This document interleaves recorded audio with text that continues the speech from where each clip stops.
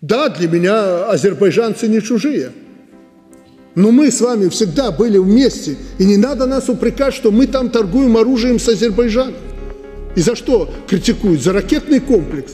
Но я пригласил и армян, и азербайджанцев, и россиян на эти испытания. А своего родного сына, помощника, поставил близко к той точке, куда должна была прилететь ракета. Я должен был знать, чтобы меня не обманывают, что это хороший э, комплекс хороший. И все увидели, 4 метра от цели упала ракета. 4 метра. Высокоточное оружие.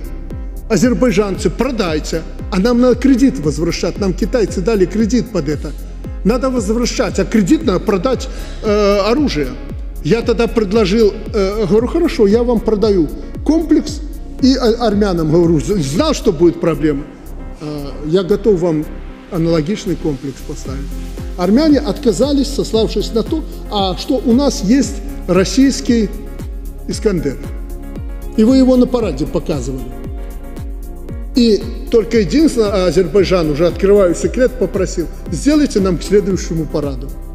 Вот армяне показали на параде российский комплекс, а он еще мощнее.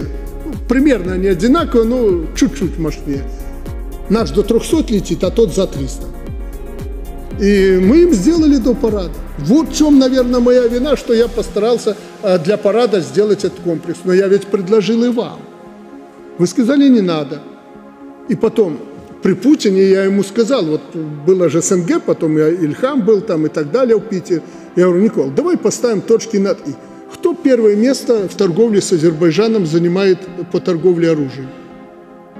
Кто? Россия? Я говорю, а чего ты язык засунул? Скажи ему. Покритикуй Владимира Владимировича. А, боишься? А второе место кто? Израиль. А третье – Турция. Ну а четвертое, с учетом полонеза, наверное, четвертое, пятое – мы. Полонезов нет, будем десятое. Ну за чего ты нападаешь на Беларусь?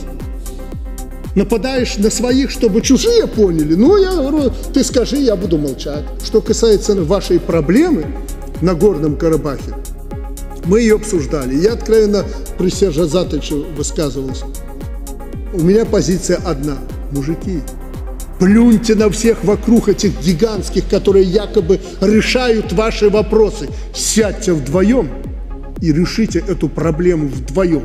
Ну, это уже Минская группа у нас по Нагорному Карабаху, которая ни черта не сделала за эти десятилетия и не сделают, пока в два президента не сядете и не скажете, что вот давайте эту проблему решим в интересах людей. Вот Николай э, вчера призывал инвестору идти в Армению. Слушайте, в воюющую страну никто инвестиций не повезет.